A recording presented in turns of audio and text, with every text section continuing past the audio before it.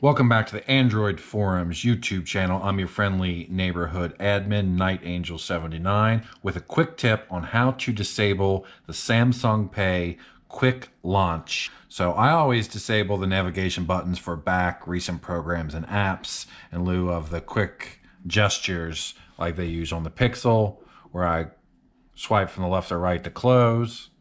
Hello, kitty cat swipe up to get to apps, so on and so forth. And then I accidentally launched Samsung Pay a couple of times before I realized how I was doing it.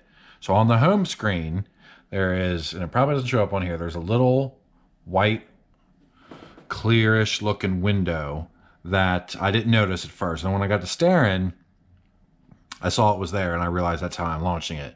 Now, again, I don't know if it's showing up here, but if I'm not on the home screen, I see the regular menu icon, which again, hold up for recent programs, swipe up once for apps, so on and so forth. If I'm on the home screen, that goes clear is a quick launch to Samsung Pay, which not really use Samsung Pay or Google Pay to be honest, and there's nothing wrong with them. They're great. However, that's in the way. This is how you disable it. Swipe up to open it. Hit the hamburger menu in the top left. Go to settings.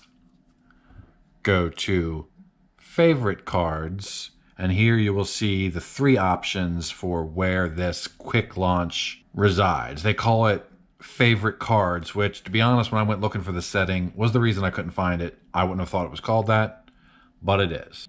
Again, from scratch. Quick launch Samsung Pay. Click the hamburger menu over there behind the ad. Go to settings. Use favorite cards. Toggle off home screen.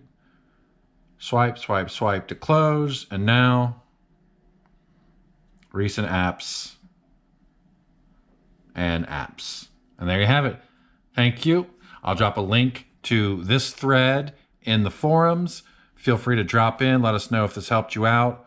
Leave a like, leave a comment, subscribe to the channel, and we see you in the next one.